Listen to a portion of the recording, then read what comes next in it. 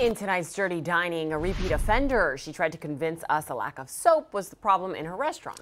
Plus, a Taco Bell ordered shut after the inspector sees insects landing on the food. Here's local 10 investigator Jeff Weinstein with tonight's Dirty Dining report. What inspection? Last week? Oh. The outside of this place says C and Y Chinese restaurant. The inspector says it's Y and C restaurant. Whatever it's called, we're at 1242 Northeast 163rd Street. It is in North Miami Beach. It's across from the mall. Last week, an inspector was here based on a consumer complaint. Noted 31 violations and ordered the place shut. They uh, should have a soap uh, in the sink Right. uh, when we work. Uh, we can close. Uh, So she found an issue with soap. Yeah, yeah, yeah. It's like uh, And everything. hand we- washing? yeah, everything have a standard. Is she really trying to convince us a lack of soap is the problem here? What about the rodent issue? Uh, what rodent? Rat, mice, mouse, rodent. I don't know. We didn't see the mouse in here. There was rodent droppings. The what they dropped, their poo poo. No, we didn't see that.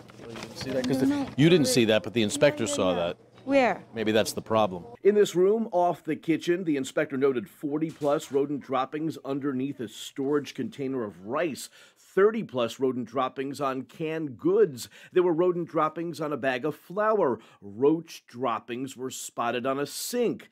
There were cans of Raid, which is a no no. Extermination must be done by the professionals.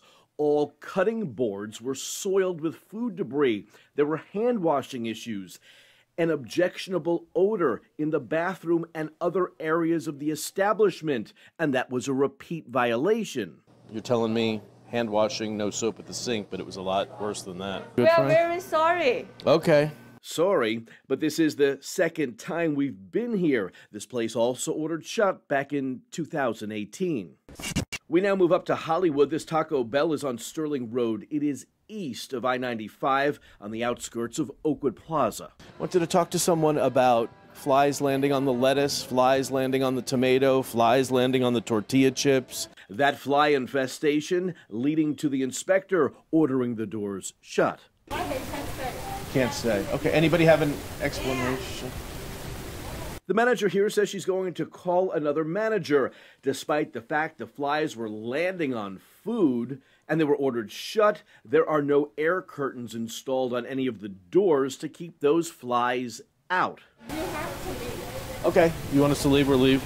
Yeah. No problem. Would you want to eat in a restaurant though that had flies landing on the lettuce? No comment. The inspector also noted no proof of required state approved employee training. We left a business card for someone to call us. No one ever did. Both places, just mentioned, were allowed to reopen following an ordered cleanup and then a reinspection. Jeff Weinstein, Local 10 News.